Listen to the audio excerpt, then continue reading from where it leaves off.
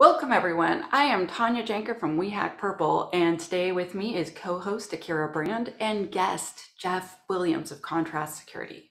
So, Jeff has been in security for over 20 years, doing tons of stuff in tech. He's also a national basketball um, champion and has to defend his, his championship in a few weeks from now. And he has been working in security for a long time. He is one of the founders of Contrast Security and he has founded other startup companies within application security. And he's one of the founders of OWASP, which, as we know, is one of my favorite things on the internet.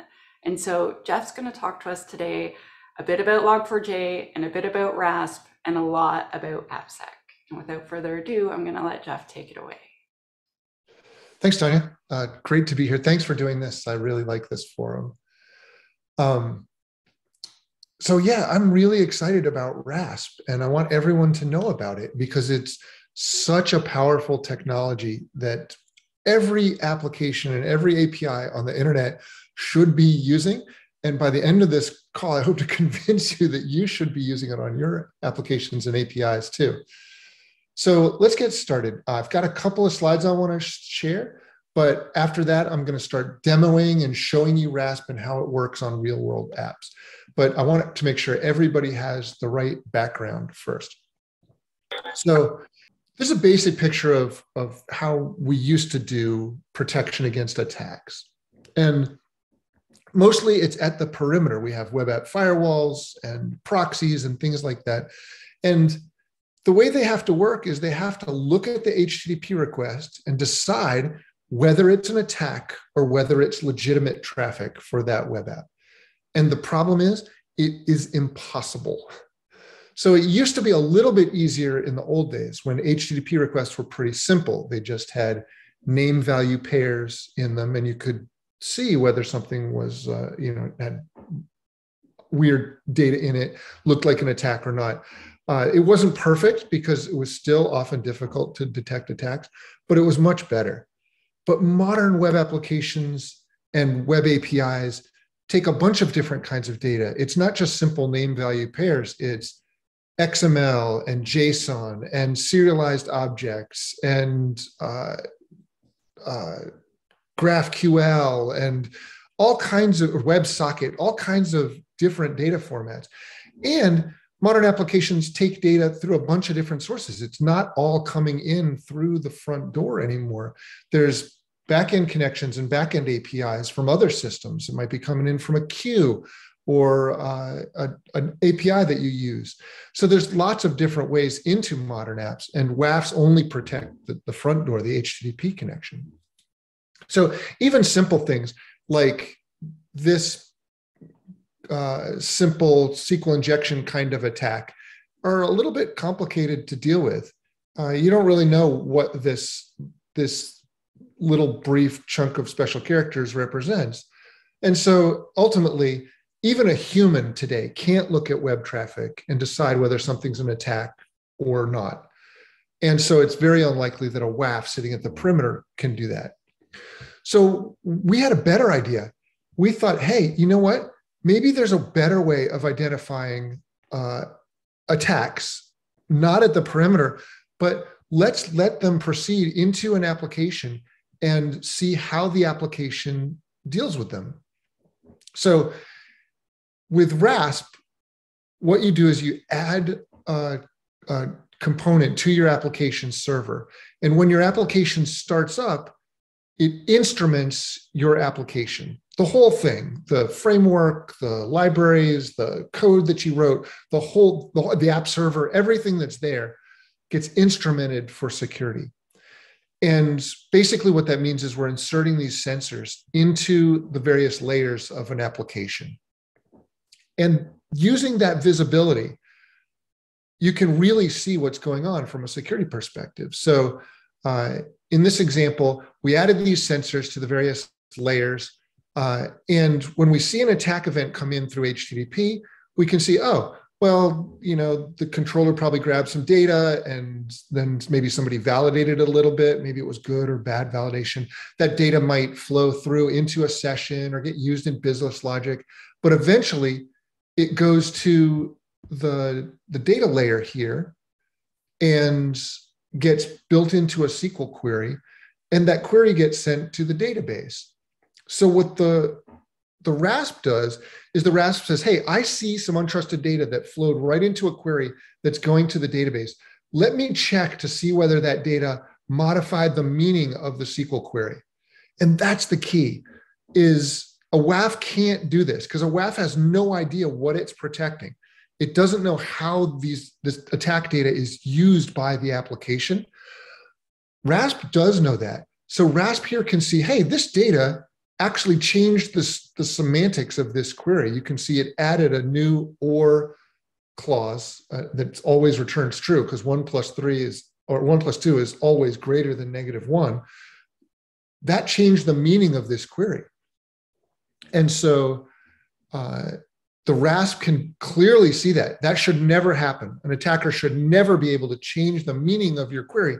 And so when this happens, that's when RASP intervenes and says, hey, nope, we're not going to send that query to the database. We're going to prevent it from leaving your application.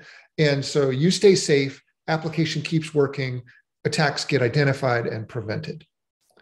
So that's the, the basics of RASP here.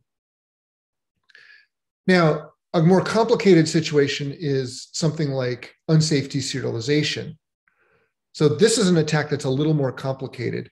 In this attack, uh, an attacker, a, a, a, uh, attacker puts together a malicious object that he serializes and then sends over the network. The application is expecting to receive this object. It's like a user object that has a name and a record ID and an owner.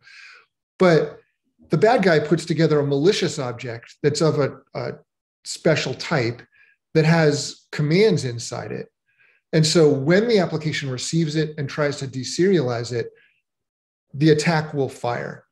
And so the, uh, the attack will, in this case, launch the, the uh, calc command. The reason it's so difficult for a WAF is if you look at this HTTP request, you can see it's just a base 64 encoded binary class uh, uh, object here. And so there's no way for a WAF to look inside this and go, hey, inside that serialized object, there is un, you know, dangerous stuff. So the WAF can't do anything. You need something inside the application that prevents this serialized object from actually being deserialized and causing this attack to run. So that's what we're going to look at. We're going to look at this whole situation uh, and see how we can use RASP to prevent these kinds of attacks. RASP uh, actually prevents a whole broad range of attacks. We, you know, I talked about SQL injection and unsafe deserialization, but it also works on path traversal, command injection, uh, NoSQL injection, uh, expression language injection, uh, XXE, and cross-site request forgery. Whole broad range of attacks. So let's uh, let's pause here. I'm going to come back to that slide let's let's pause here and let's jump into some some demonstrations. So I'm going to use contrast to demonstrate how RASP works. Oh, there's a there's a quick question in the chat. So Juan yeah, is ahead. saying, so are the RASP sensors code within the app or another application running alongside the main application? It's a little of both, actually. They're all inside one application. Um, that, so what happens is as the application starts up, RASP will instrument the code of that application, just the same way that a tool like New Relic or AppDynamics might do with, uh, you know, for performance management purposes. So those sensors go in into the actual application. And then there's also some other, you know, analysis code uh, like the brains that runs inside that application as well. And so as the sensors fire, they're sending this stream of events to the, the brain, and then the brain is making smart decisions about whether something is an attack or not. And it all runs in line, which is kind of how you want it. You don't want to have to send security decisions to some external source to, to decide because you'll slow your app way down. RASP is designed to be super, super fast, probably faster than if you wrote your own input validation or your own protection because they're highly optimized. Um, so yeah, it all run, part, runs as part of one application. And I want you to just imagine what this looks like at scale. Imagine you've got hundreds or thousands of applications out there. It's very difficult in the modern world to try to put a perimeter around those. You know, maybe you've got pieces that are running in Amazon and some in Azure, and you've got some pieces running in containers in uh, your private cloud, and then you've got some other pieces that are on prem. Very difficult to put effective parameters or, or perimeters around that. That's kind of the, the notion behind zero trust. And unfortunately, zero trust is really only about which servers can access what other servers and what users are are involved, it doesn't really do anything at application layer. So RASP is a way of achieving that zero trust at the application layer, and it's distributed across all of your servers. So you don't have any central points of failure here. Um, ben has a follow-up question. Yep. So he was asking basically if WAF fails open. Um, so here's, so he put a, a lot of stuff. So we've discussed before about the merits of WAF versus RASP. And he was saying, I can't recall the reason not to use WAF. That's making assumptions. So I'll just yeah. leave that there. Um, but basically, like, because only having one layer of defense is not smart. And I don't, I don't think that's the reason. But he was saying, but does it fail open? And I wasn't sure if WAFs fail open. I think that might be product to product it, it is product to product. Generally, WAFs don't fail open. Uh, yeah. Like routers and, and firewalls tend to fail open um, if they get overloaded because their their primary responsibility is to make those apps work. But uh, the big problem with WAF, the reason you shouldn't rely on WAF is because they make mistakes. They overblock and they underblock. So they overblock because they think things that aren't attacks are attacks.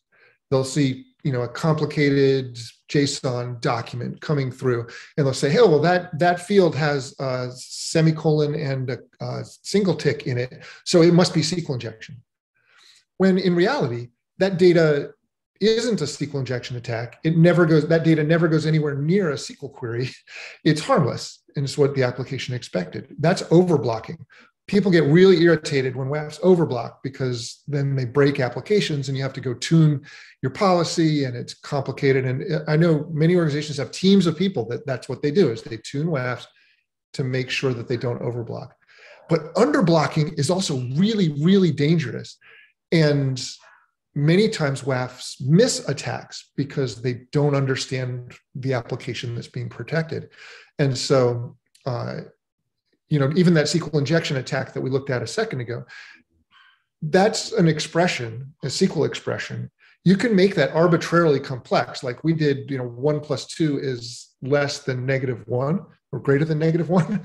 Uh, but you could add terms to that and make it as complicated as you want. And ultimately, many WAFs fail in the log4j and uh, Spring for, for shell attacks attackers very quickly figured out a zillion ways to bypass WAF rules and send those attacks through um, because you know they can camouflage the attacks in a whole bunch of different ways. Great questions. All right, so let's take a look at uh, at Raspberry. So I'm using Contrast, and the first step is to install the Contrast agent on your application server and once you do this it's it's there forever. It's always going to be protecting. But i just want to give you a sense here. Here's the languages that we support. I'll just list this up here. You can grab an agent for java which includes kotlin and scala net net core node ruby python uh, go uh, and we just launched php we got a lot of different language coverage. And so i'll show you how we do this. So um, I am going to pull up uh, my app here. I have it running already, but I'm going to kill it, start over. So the first step is you can go download the contrast agent. I'm going to download it with curl. Uh, contrast agents in all the major repositories. This one's in Maven Central.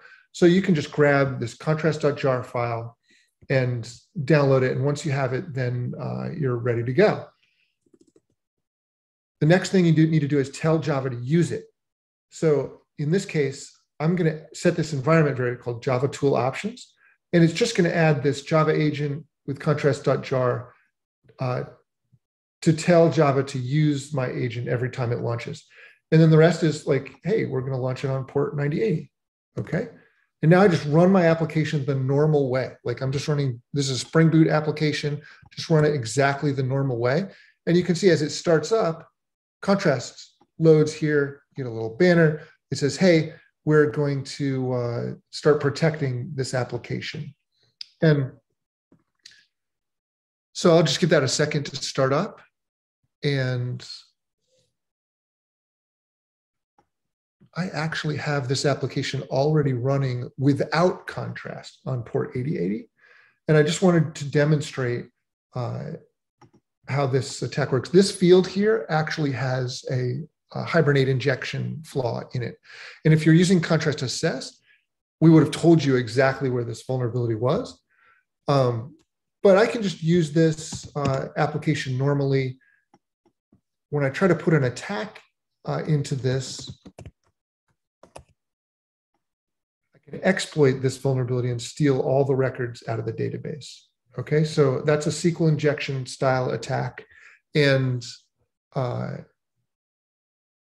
and I've I exploited it to, to grab all the data out of the application. I could actually use this flaw to you know, take over the whole database. So now let's bring up the one that's running with contrast protect engaged.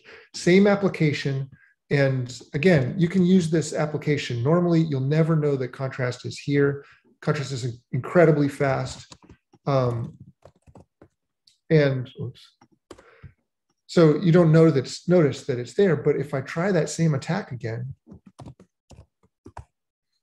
contrast will intervene and prevent that query from going to the database, exactly like the example I just gave. So now when we go to the contrast dashboard, we can go to the attacks tab. And I'll just give you a brief tour here. So this is showing me that, hey, I've got seven attackers in the last day. Uh, if I zoom out to like 30 days, you can see it's you know, a whole bunch of attackers. You can see all the different types of attacks that I've been receiving, and you can see which applications have been targeted with attacks. Now, uh, most of these are green. The green ones have been blocked by contrast. The red ones have been exploited by contrast uh, or by, by the attacker. And the reason is that you can deploy RASP in a log mode. And so that's what these red ones are. This is applications that if you turned on contrast protect, it would have blocked these attacks.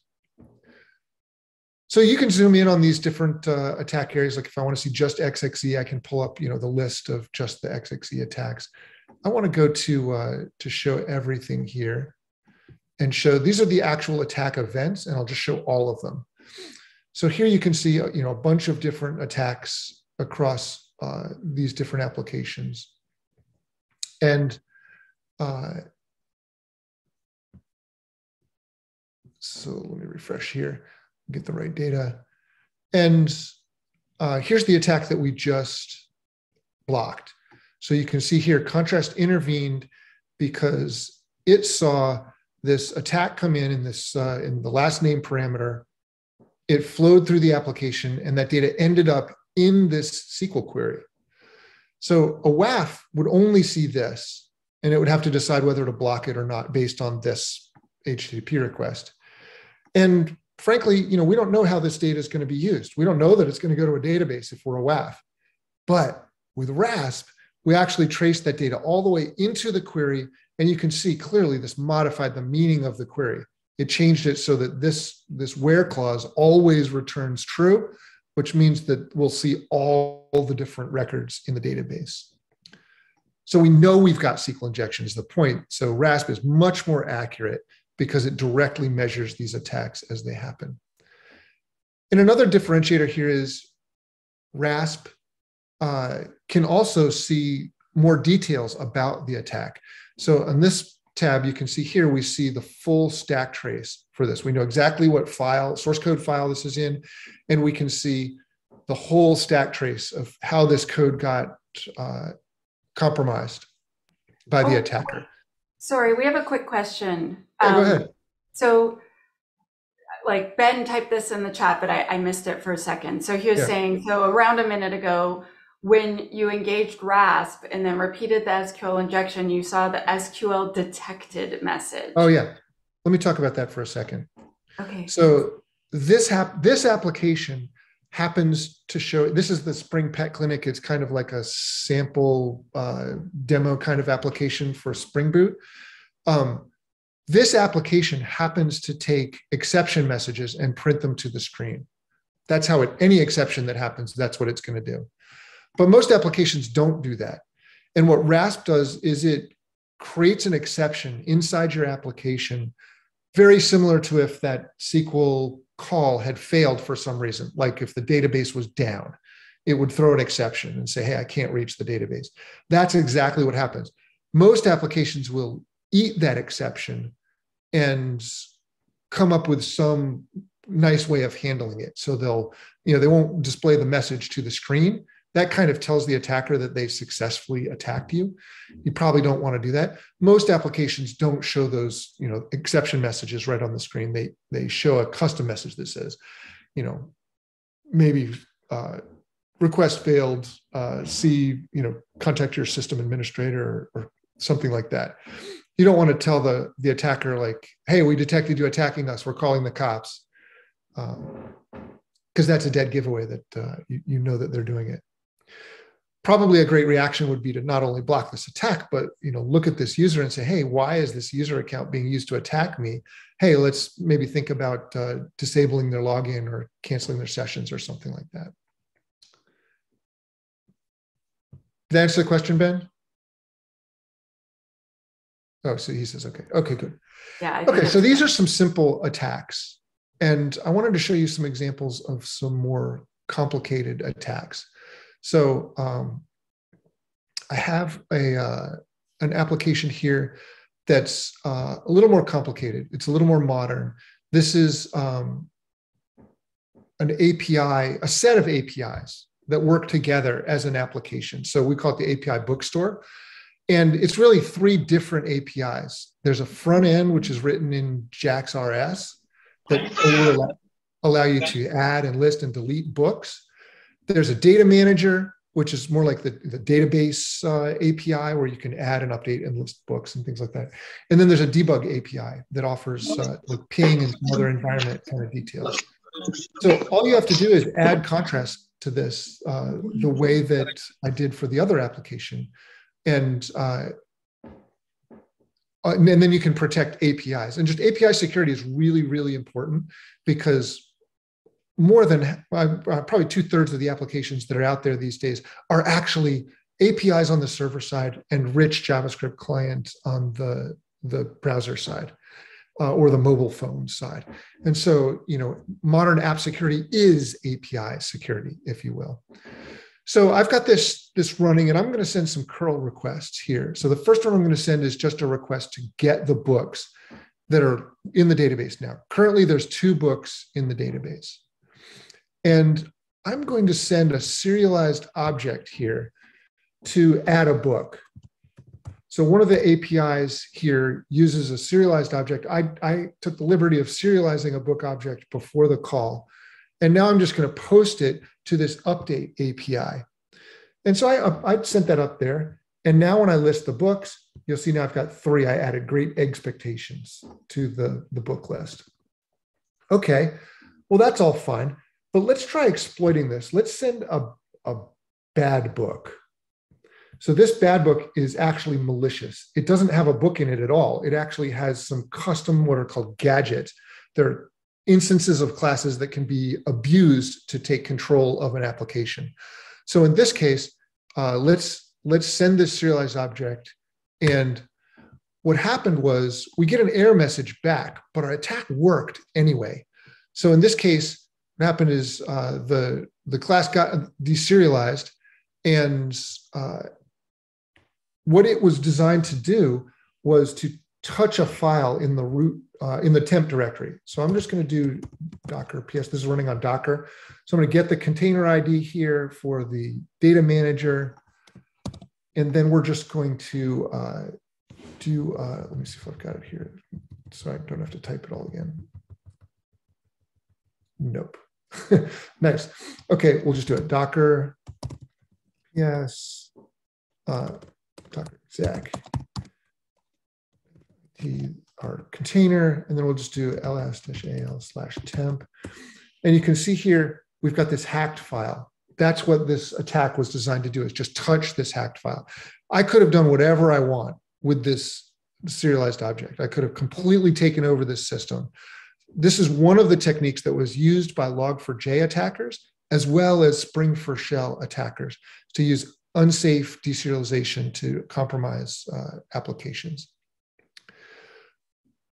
So let's look at how uh, we deal with that with uh, um, with RASP.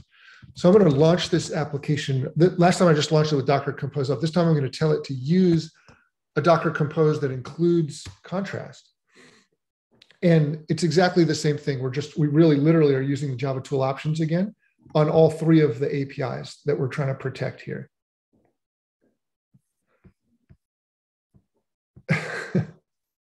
You guys are silly in the chat. yeah, we talk about cheese a lot. okay, I got you. I don't understand, but that's fine. It's a long running joke from the first season of the We Hack Purple podcast. There was a question that was always about cheese. okay. Was I was trying to describe ask how much money a certain job makes, but without saying tell us your exact salary.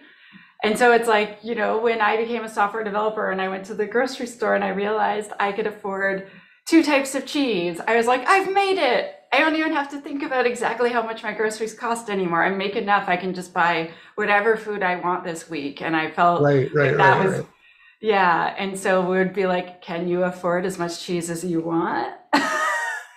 and not all jobs in cybersecurity can. Right, right, right. That is truly weird. This is great, Jeff. Please continue. Sorry to interrupt you. Oh, no, it's quite all right. Okay, so uh, this takes a second to start up, but uh, I think I think we're up and going now. Yeah, so um, let's just check, make sure it's working. We're listing the books we got. I started it over, so we don't have that book again. Let's add a, uh, a, a Great Expectations again. We can add a couple other books here too as well, because I want you to see the funny titles. So you guys are so silly. Um, so now when we list the books, um, you can see uh, a, paradise, a pair of dice lost and uh, a serial thriller, so on. Let's add that um, malicious book or a bad book. Okay. This time, notice that we get an error message again, but this time RASP said, hey, deserialization attack detected. If I look at the stack trace here, you can see exactly what, what happened. You can see deserialization attack detected. So we're going to block that deserialization from happening. So we're protected. And if you actually look down here in the code, you can actually see, you know, the full stack trace from exactly where this request came in. You can see uh, a, a mapping. So actually the way that Spring4Shell worked was very similar to this. We're trying to map an object to uh, a data structure in memory. And uh, in the log in the Spring4Shell case, uh, we were trying to overwrite a field, you know, sort of access a field that's not supposed to be public. In that case, the module slash class loader. Here, we're just trying to load a malicious class entirely. But bottom line here, uh, RASP did us right. RASP protected us here so that now uh, when I go back to my contrast dashboard, I can look at the attacks again and uh, I'll just go straight to the attack events here. You can see here's that untrusted deserialization attempt. You can see uh, block the attack. You can see all the details uh, of the stack trace. And you can even see, of course, the full uh, HTTP request here if you want to replay this or make sure that you understand what happened. So let's think about what, what we just did here. We just added a single component to our app server that gives us protection against this broad range of attacks. Imagine if you could take all the injections off the table today. How would that affect the way that you build code? Would you be as worried about having a SQL injection in your application if you know that you're protected in production? Maybe you'd treat it a little differently. What about you know new open source library vulnerabilities? how would that change how you do things? Would you have to, uh, you know, have a fire drill every time a new problem in Spring or Log4j comes out? Uh, Or would you be able to just deal with that and say, okay, we've we've got a new vulnerability, we're going to fix it, but we've we're protected in product, production against being exploited. So having RASP in place to me is like having belt and suspenders. It gives you much more likelihood that you'll be able to stay safe. I've worked with it. Uh, yeah, go ahead. We have a question. Of, sorry, bad timing. We have a question no, no, about like so as new attacks come out, can RASP update itself without having to reset yeah. the the app itself? It's a great question. So the first thing that you should know is that most of RASP's protections are fundamental. They're like, so the, the ones that we've looked at so far, SQL injection, XXC, and unsafe deserialization, the defense in RASP is fundamental. The specific exploit doesn't matter. So there's not this race about having to keep up with the latest attacks all the time. We're taking these whole classes of vulnerability off the table. So the, the only analogy I can think of really is if you remember in the early 2000s, there were kernel exploits all the time, buffer overflows and uh, attacks like that, that were taking over various kernels. And uh, some researchers invented a couple of new techniques that helped ASLR and DEP, so address space randomization and data execution prevention. Those two techniques made it much, much more difficult to exploit buffer overflows and other kind of memory related attacks. And so we it, the number of kernel exploits went from you know one a week down to very rare these days. And this is what RASP can do for web style attacks. So for all these categories of attacks that we've been talking about, uh, injection and all the rest, RASP can make those very difficult to exploit. And you don't have to, to sort of keep up with the latest specific exploit. Uh, for instance, uh, Contrast protected against both Log4j and uh, the Spring4Shell attacks before the vulnerability was even announced, before anybody even knew it was there, because both in both of those attacks, uh, it was unsafe deserialization and expression language injection that were getting exploited, and contrast prevents those from happening. So, uh, RASP is this fundamental technique that eliminates whole classes of vulnerabilities. So, just think about that. How would your program change if you could take even if you could just take SQL injection off the table forever, what a massive improvement that would be for your program. And I'm not suggesting that you don't go back and fix your code and make sure that you've got uh, you know solid code hygiene. I think the smart approach is to do both. You're always going to have vulnerabilities in your in your development environment that are that are coming through into production. It's very difficult to make a program that's perfect at that, particularly with new zero day vulnerabilities and libraries being discovered and, so on. So you can have a great code hygiene program. I think you should. It's really important. But at the same time, you also have to have good protections in place in production. And even if you were perfect at blocking every attack, it's still really nice to know who's attacking you and what kind of attacks they're sending at you. That's the threat intelligence that you can use. And I encourage you to feed this data back to development because nothing makes development teams take security more seriously than, than you saying, hey, that SQL injection vulnerability I told you about, well, it's being attacked in production right now. Uh, so this is much more accurate risk information than what you can get from, you know, if somebody discovers a, a I don't know, say a file injection uh, or path traversal kind of vulnerability in your app, and they say it's a medium. Well, okay, it's a medium. It probably goes on a backlog. It gets fixed in, I don't know, months. I just the average time to fix vulnerabilities using static analysis is 290 days. So the vulnerability is going to be around for a while. But imagine that same vulnerability, but now you have data from production that says, hey, attackers are hitting this all the time on this application and other applications. It's just a matter of time before they get, you know, they, they connect the dots and figure out how to exploit this. that makes it not just a medium, it makes it a critical because it's currently under attack. And that's the kind of data that I want you to use in your risk management program to make smart decisions about where you spend your efforts in AppSec. And uh, Tanya, that's that's true. That's uh, that's one of the major static analysis vendors puts that out in their annual report. They say, hey, it's 290 days on average to fix vulnerabilities using static. IAST, by the way, is eight days, which is still too long, frankly. The ideal time, and we do have a number of customers that have done this, uh, they're fixing in less than a day. That's the most cost-effective way of doing application security is get accurate feedback back to developers, let them fix it right away.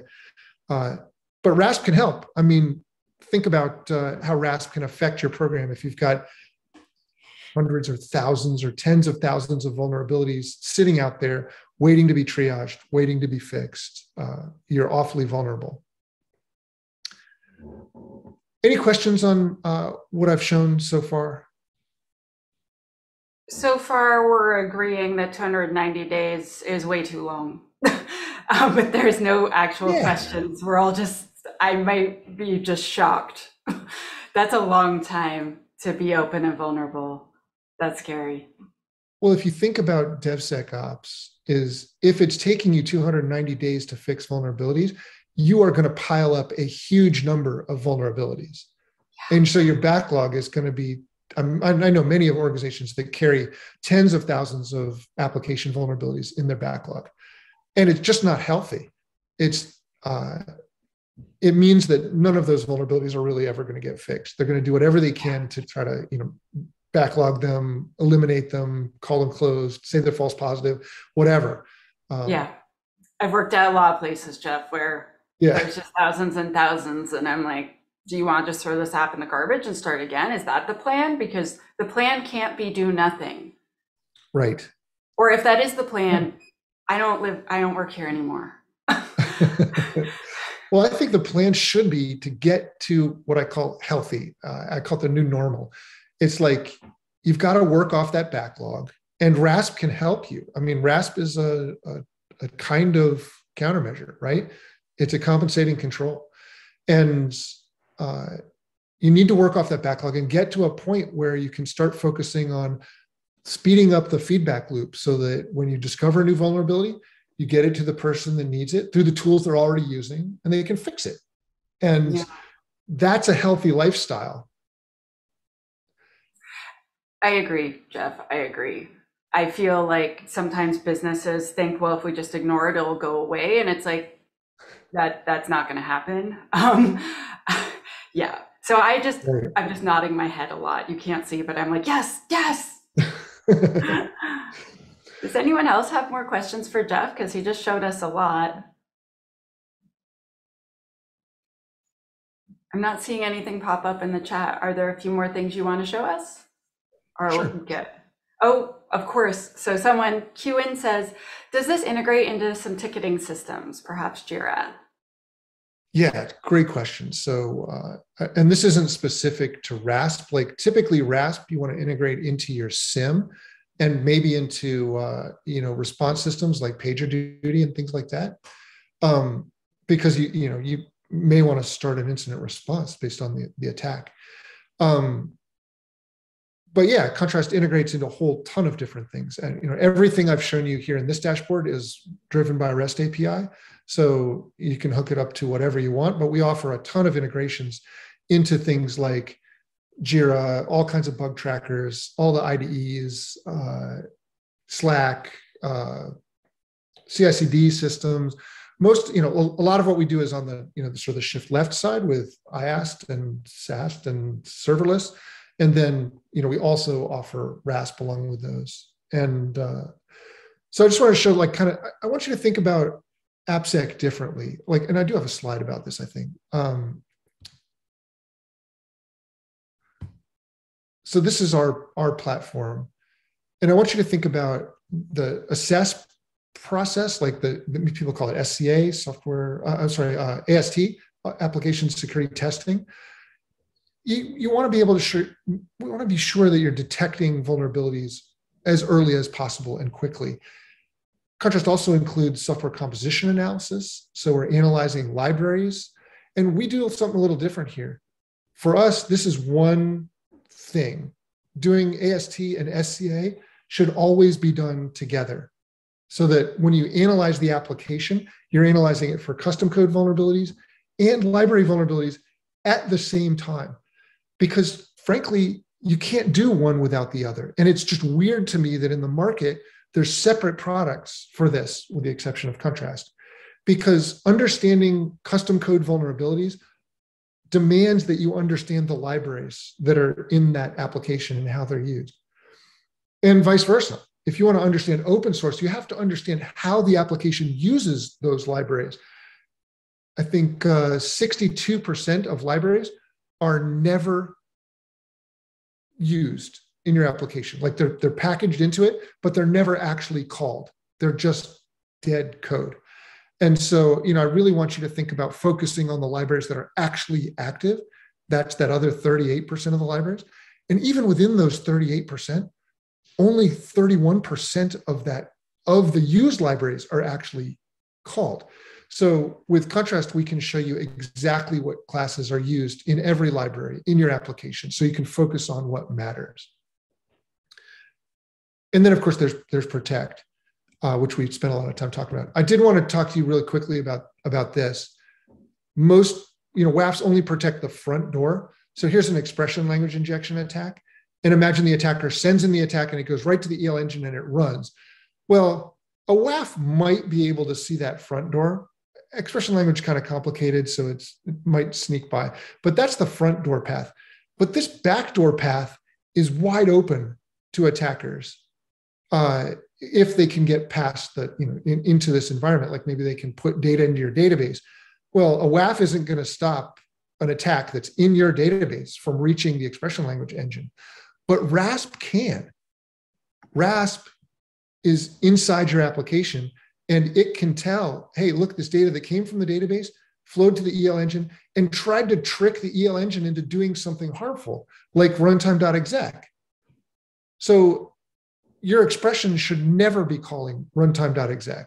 That's crazy. Expressions are for like, you know, generating UI stuff. And so uh, this kind of sandbox is another way that RASP protects your applications. We have one question that's like right about what you're talking about. So Leroy asks, does RASP also emulate attacks against an app based on dependencies, programming languages, etc., to detect issues that maybe a DAST tool might miss? I think he means I IAST. Probably, yeah. So yeah, and people get this confused all the time because I IAST and RASP are based on the same instrumentation technology. So I IAST is for detecting vulnerabilities. RASP is for detecting attacks. But I think about it this way like, imagine you mounted a camera over a window in your house. That camera could see that you left the window open and report it to you, right? That would be reporting a vulnerability. But that same camera could also see a guy breaking in through that window and stealing your stuff. That's detecting an attack, but it's the same camera. And in essence, that's what IAST and RASP are doing. They're installing the cameras. It's the brain that looks at the events coming from those cameras and interprets them and says, hey, here's what's going on. Does that help? I, I think so, definitely. But so, Leroy, so you let me know in the chat if that's okay. Yeah, so to answer the question is RASP doesn't detect vulnerabilities. RASP just identifies attacks. And you can use them separately, by the way. But IAST, does detect vulnerabilities, but it detects them in a way that doesn't require you to exploit those vulnerabilities the way that DAST does. So it's it's a little bit some people try to say it's a combination of static and dynamic it's actually that's not a great way of describing it but it does have some of the advantages of both you can just add it to your application. This is IAST we're talking about, or interactive application security testing. You just add it to your application and then you do your normal development process. You do your normal testing, whether it's automated or manual. And IAST is in the background detecting vulnerabilities really accurately because we've got cameras mounted over all the windows. Um, so anyway, that's that's that. He said that is a great clarification. Thank you. cool. And does everybody get RASP now? If I, if uh, if you don't want to go run out and install this on your applications right now, then I didn't do my job because I think it's actually crazy that people are running web apps and web APIs without RASP on them. It's very accurate. It's very fast. It's a distributed solution, so it moves wherever your applications go.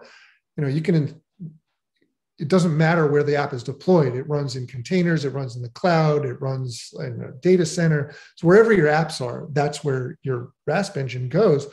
And it gives you this great visibility. So let me know if you're skeptical. I want to hear about like what what makes you skeptical about this? Like why wouldn't you do this? What does testing look or what does tuning look like? So for instance, like yeah. if someone's trying to do the instrumentation to set this up and then they're trying to tune it to make sure that it's working correctly, what does that effort level or how do you do it? Yeah, what I do is uh, I and and look, RASP doesn't involve a lot of tuning because it's much more specific to the the uh, the the definition of the attacks than something like WAF. WAF is trying to match signatures, and so it has to do a lot of guessing about whether something's an attack or not. But like the examples that I showed you, uh, we stop attacks, RASP stops attacks when they violate the, the sort of the behavior that should never happen within an application. So like for SQL injection, I showed you, you know, when the attacker is able to change the meaning of the SQL query, that's when contrast would intervene and block it because that should never ever happen. Your users should never change the meaning of a query. That would be crazy. And so uh, there's not a lot of tuning. But to test it, to make sure that that RASP isn't going to break my applications, I usually put it on a test environment and I install it and I run my whole test suite. I verify that all my functionality is working, all my test cases pass. Usually it doesn't, it usually uh, is exactly the same as when you run it normally. And then I have a lot of confidence putting it into production. Sometimes I'll put it into production in uh, in log mode so that you can just watch it for a week and see that oh yeah it's detecting stuff. Uh, you know the average application gets attacked 13,000 times a month, and so you'll see stuff right away that you didn't know was there before because you get a lot of visibility. And then once I have confidence that uh, you know I've, I haven't I haven't logged anything that shouldn't have been blocked, then I'll turn it on blocking mode. And so, what does the setup look like? Like the idea of like um, connecting it to an app, is that a long time, or I guess you you explained some, but I've had some people say like, "Oh, but how long is that going to take? Is that hard? Can I do that myself?"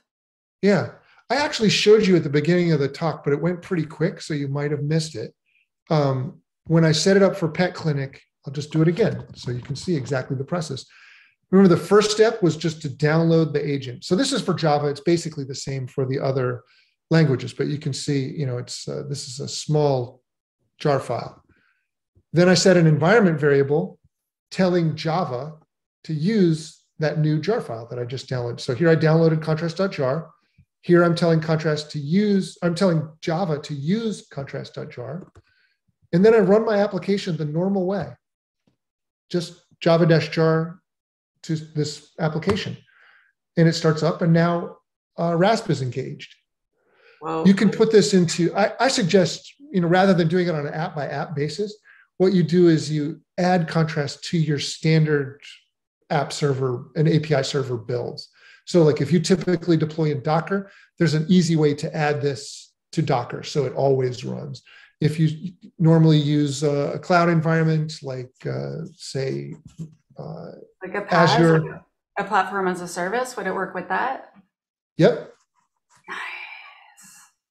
Yeah, we've got really great integrations into both Azure and AWS, so you can add it, uh, you know, with a single click to your environments there. Mm. Oh my gosh, that's awesome! I guess it was so fast. I just assumed there was more. well, setting up a WAF would take you a long time, right? You'd have to put it in learn mode and then you'd have to deal with all the exceptions and you'd want to run it in log mode for a while. Uh, RASP is much different than that. I mean, the amount of, of human effort involved is dramatically less. That's why we were asking. So great question, Melissa. Thank you so much. Awesome. Are there any more questions for Jeff? Like this is our chance to quiz the guy that made this. I feel like it's an opportunity, right? And isn't there um don't you have a community version of this? So if you just want to do one app or something? Oh, we do actually.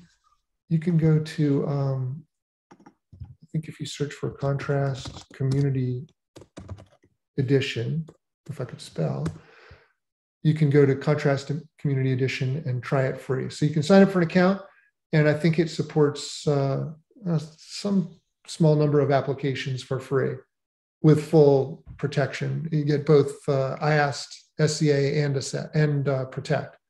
So you get oh. RASP and IAST and SCA all uh, all taken care of. So, for instance, if someone happens to be an open source developer and they just work on one app, this might be a thing that they could try out. I I would. I mean, uh, it's if you're writing, you know, APIs or web apps, contrast is really appropriate, and I guarantee you'll learn something when you add contrast protect onto a, an application. You're going to learn a lot about what the attack world looks like because you'll immediately get all this data that you didn't have before. You know, I I actually really love the confidence that I get when I look at this and I can look back at you know the last 30 days and see like, oh look, there's 982 attacks. And I can dig in and I can see, oh, which ones were actually effective. Uh, and uh, let me pull out to the whole range here. You can see which ones, you know, I can see all of them. I can see which ones were blocked. The probes are interesting. These are attacks that never landed, by the way they're, they're, they look like attacks, but they never actually connected with their corresponding vulnerability. That's a huge advantage over WAFs, is WAFs would have to block all of these. And that's why they break stuff. But you can see, you know, you'll see a lot of people still doing attacks like, you know, against particular CVEs. Uh, we see an awful lot of uh, log4shell traffic still, and a lot of Spring4Shell traffic it's it's interesting to just see what people are trying you know? Yeah. We have a question from akira. Akira you want to come on? Yeah jeff on that note i'm kind of curious like what direction you think RASP is heading. Um yeah. and also like if you see more people adapting it and what might have to be done or like maybe what kind of features would have to be added so that this has like a very widespread adoption yeah um so contrast has you know quite a number of very large enterprise customers. Um, and that's where we're seeing lots of rasp adoption. So i'm not going to name any names but there's a number of companies that have put this on all of their public facing applications. Like probably your insurance company uses contrast rasp on all their public facing apps and apis uh, we have a number of customers that use it on thousands of applications. Uh, like one of the world's biggest medical device manufacturers. Oh, and you might find this interesting is uh, I'll just say uh, one of the major uh, construction tool equipment vendors uh, uses Contrast Protect on all their APIs. And the reason it's interesting is because uh, you wouldn't think of like construction equipment, like why is that using Protect? Why do they care so much about AppSec? Well, it turns out that modern tools are all Internet of Things devices. They're all internet enabled and they're calling serverless functions, they're calling APIs, and they need protection on all that stuff. So I guess the question to, you know, what does RASP need to do is uh, it just needs uh, more publicity. Like people need to be thinking about it more as part of a comprehensive AppSec strategy um, it is already required in NIST 853, as well as the PCI software security framework. Um, and so I'm optimistic that, you know, PCI SSF is going into effect uh, in, I want to say August or something is the like the last time you could ever do an old PCI PADSS assessment. So from now on, it's the new software security framework. And you should get familiar with it if you're in AppSec because it much different. It's not just a simple list of requirements. It's like, hey, you got to do threat modeling, you got to do runtime protection. There's a bunch of uh, kind of new things. So I think we'll see a surge of it towards, uh, you know, as we as we move towards the second half of the year. And that's from NIST or that's from? The SSF is uh, the PCI, the Payment Cardholder Industry. Okay, So it's any system that processes credit cards for any purpose has to be compliant. It's actually how WAF got started. Uh, you know, 15 years ago was uh, it was required by the PCI, and it, it just Yeah. forced everyone to get a piece uh, a WAF. And Yeah, Yeah, because originally it, it was like a pen test or a WAF, right? And then I guess they're a code review or a. WAF actually, which A was what or a uh, WAF? it was a code review. Oh, okay. I mean, And then some scanner vendors said, "Oh, well, isn't running a DAST scan isn't that a code review?" And PCI sort of waffled and eventually gave in. But ulti- uh, you know, originally it was supposed to be a code review, which I was psyched for because really I'm a big I'm a big fan of actually looking at the code. There is a bunch of questions coming in. So QN asks, can you export attack IP address details so that you can use that Yeah. in the rest of your network or block them? Yes, uh, you can connect this directly to your SIEM, which is a nice way of exporting it and then including it in with all your other uh, sort of network layer attack stuff, or you could just export it from Contrast. And like I said, everything in Contrast is accessible via REST API. Uh, Okay, we're all trying to like look up the um, the standard that you said so that we can get it right. And Juan adds, I'm starting a new position in the next couple of months in product security, so RASP is something I'm going to bring up. Awesome. this is what you need to look for is the, the PCI SSF. Oops. I went to the wrong place. Uh, if you look in here, I'm sure you can find that. Let me, s- Cool. There's a bunch of stuff around the SSF. I don't know where the right entry point is to this, but uh, I'm on the task force that helped create the, the SSF standards. That is a good place to be, being on the, the board so that you can help push things forward, actually get stuff done. What? I'm doing a lot more of that work lately. I'm working with NIST, I'm working with PCI, I'm working with Oasis on the SARIF standard. Um, so I'm, uh, I think there's a couple others. So I, I think it's important to get these standards right so that, you know, people head the right direction. Absolutely. Well, and like if you don't do the work, who will? Like that's a big problem in our industry is like we don't have that many standards. We don't have that many things that are like eventually I, I that maybe this is an unpopular opinion, but I would love things to just be like mandated. Like I, like if there's a regulation and we all have to follow it. And so then I'm not sitting there at some giant enterprise telling them like, no, you have to have some secure coding going on. You have to have a secure system development lifecycle. It's not okay that every single person in your office shares their code in random places. You have no idea where any of it is, and that you're all using random technology stacks, and that like there's no system development lifecycle that every single person follows. It's just like a, like cats, just like crawling all over your building, just doing whatever they want. And like there has to be some order here if you want things to be secure. End rant. Actually, so I, I mean, not to be argumentative, because I, I, Mhm. I think uh, there's a lot of, there are a lot of organizations that can succeed that way, but to me, it's all about the outcomes. And frankly, I don't care how you get there. But at the end of the day, what matters to me is did you convince me with a compelling argument that you've identified the threats, you've got defenses in place against those threats, and you verify that those threats are correct, uh, that those defenses are correct and effective? If you do that, then I'm happy and i don't really care if you're you know you can have a bunch of different projects building software a bunch of different ways and still do that the problem i think is that too many people try to over specify how you have to build software. And frankly it's not security's job to tell people how to build software.